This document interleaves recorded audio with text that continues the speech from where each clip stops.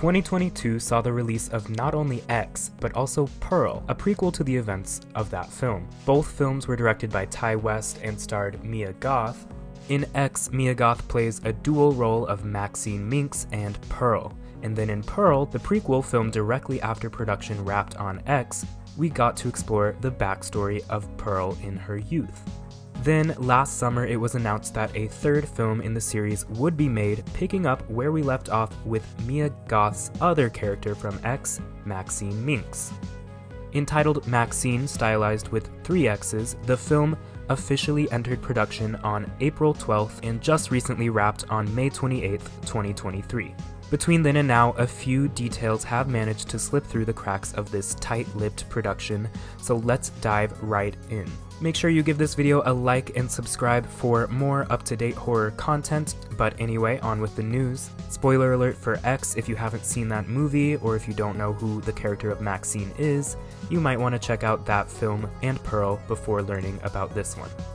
As I said, the film follows Maxine Minx after the events of the first film, where she was the sole survivor of what can only be described as a massacre that took place in X. Maxine will take us to the 80s, the third decade of this film series, and will tackle Maxine's journey making a name for herself in Los Angeles amid an evolving adult film industry. A24, the film's distributor, has not revealed the film's release date just yet, but I'm imagining a spring 2024 release date to emulate the release strategy of the first film, which went on to gross $15 million against its budget of around $1 million. Pearl had a similar budget and a slightly less impressive box office return, but no details have been announced about the budget of Maxine just yet. What we do know a lot about when it comes to Maxine is its cast. Aside from Mia Goth reprising Maxine Minx, the film also stars Elizabeth Debicki, who you may know from Guardians of the Galaxy, The Crown, or I recognize her from The Cloverfield Paradox. She is rumored to be playing a film director in Maxine. Moses Sumney is also a part of the ensemble. Moses is a musician who has recently gotten into acting with roles in both Maxine and the soon to be released HBO show The Idol. Michelle Monaghan, who recently had a role in last year's horror film Nanny on Amazon Prime, is also entering the extraordinary world of X in Maxine. Bobby Cannavale, who I know from The Watcher and Nine Perfect Strangers, but you may also know him from Ant Man or Boardwalk Empire, among many other credits, is also a member of Maxine's ensemble cast. Both Bobby and Michelle are rumored to be playing LAPD detectives. Lily Collins of Emily in Paris fame will also appear in the film alongside musician Halsey, who has been breaking into acting in recent years. A still image from the film has been released of Halsey performing a scene alongside Mia Goth herself, and not only is this the first look at Halsey's character, but it's also our first look at Maxine in this new decade.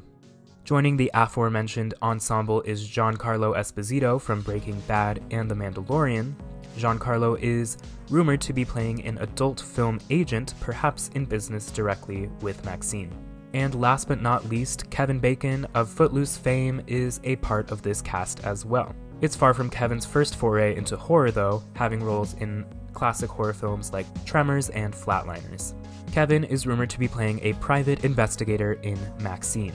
The Los Angeles based production of Maxine has been pretty tight lipped, and the only official material released by A24 thus far has been that end credits teaser back from Pearl and that still image of Mia Goth and Halsey.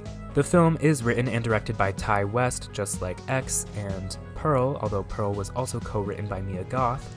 Maxine is produced by West, Mia Goth, Jacob Jaffke, Kevin Turen, and Harrison Kreiss. And there you have it. It's not much, but that's everything we know about the upcoming third entry to the X film series, Maxine. I'd love to keep updating y'all on news regarding this film as it comes out because, as you know, X and Pearl were some of my favorite horror films of the last year and, dare I say, of all time. So let me know in the comments if you're looking forward to Maxine and I can keep that content coming but also let me know your theories as to what could be going down in this film because plot details have been very scarce. In the meantime, thank you guys for watching, and I will see you next time.